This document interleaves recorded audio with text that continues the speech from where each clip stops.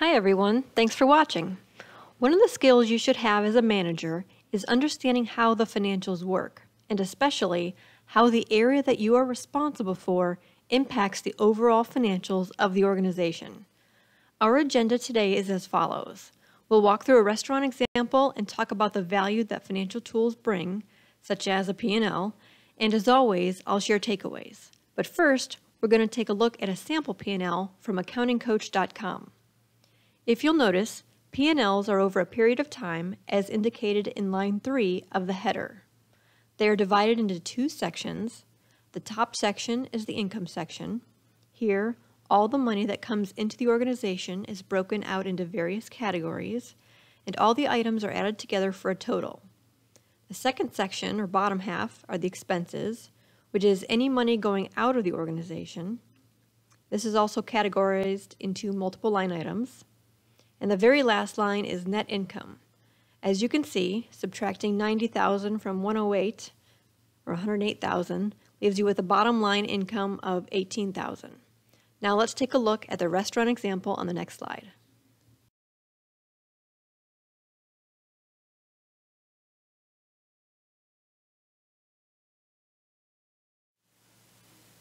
A P&L is a profit and loss statement, also called an income statement. Here, we'll walk through the two high-level categories of a P&L from the perspective of a restaurant manager. First, income is called revenue. Examples of the categories on an income statement that would constitute revenue are dining in, carry-out, catering, and gift cards. You could break any category into the form of payment like cash or credit card, and you could even further dissect each category. So for patrons, dining into a restaurant, you could categorize them by time of day, meaning breakfast, lunch, or dinner, and even further so with walk ins and registrations. Expenses include any money paid out of the organization. Sticking with the restaurant example, that would be salaries and wages, the mortgage or rent for the space, all types of insurances like property or liability insurance, utilities such as water, electricity, trash pickup, and so on, and ingredients to make the food and beverage items. As we saw in the previous slide, the bottom line is revenue minus expenses. We have a profit when we bring more money in than we pay out in a given period, and we take a loss when we are paying out more than we are bringing in. Businesses can't operate in this state very long, so it's important to forecast your income and expenses in order to best manage big swings.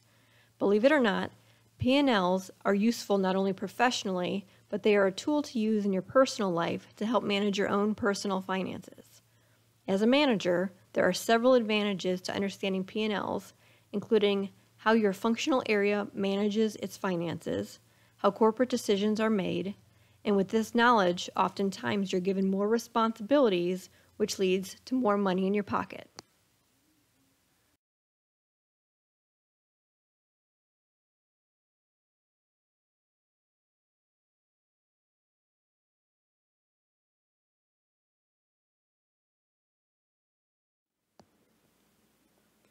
For disclosure purposes, I am not a financial advisor. I'm here to explain a P&L. Okay, if you start to use a P&L for your own personal finances, you'll never be one of those people who doesn't have any money or wonders where it all goes. You can create your own file in Excel.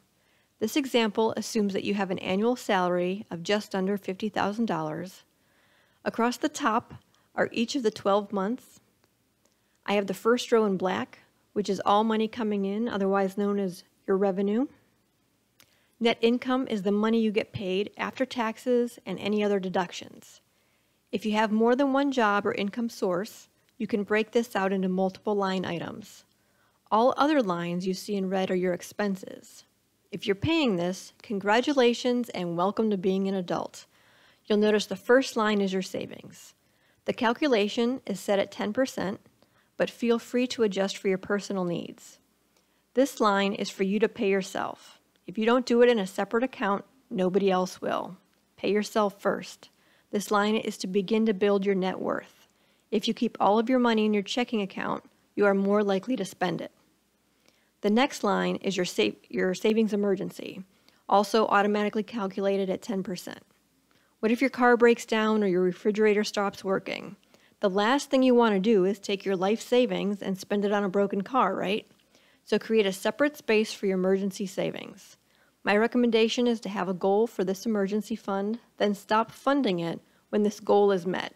You can see what your expenses are by looking at this file, so have enough saved to manage all of your expenses for one year. Next are your home or living expenses. You want to have a line item for each. Your mortgage or rent, your cable or streaming service, water bill, electric bill, gas bill, homeowners or renters insurance, groceries, etc. Take the average bill and populate these cells. For months that you know you may use more, like heat in November and December or January and February, increase that amount so you can properly forecast. The more accurate this file is, the better you can manage your money. Next are your car expenses. Insurance, gas for your car, if you use a car service. Notice that this file assumes you don't have a car payment, so you have to plan for that accordingly. Then you have expenses for your phone, fun money like grabbing a bite to eat with friends, um, thinking about spring break or going on a trip, and then you have credit cards that you would have to pay off as well. I will advise that if you can't pay off all of your credit cards in full by the end of each month, you shouldn't have a credit card. That means you're spending more than you're bringing in, and that's the fastest way to go into debt. The bottom line is your income minus your expenses. You'll notice that the if the line is black, you spent less than you brought in, which is great. If the line is red, it means you need to be careful and you spent more than you brought in. On the far right, you'll have the annual column that totals all of the rolls for the year.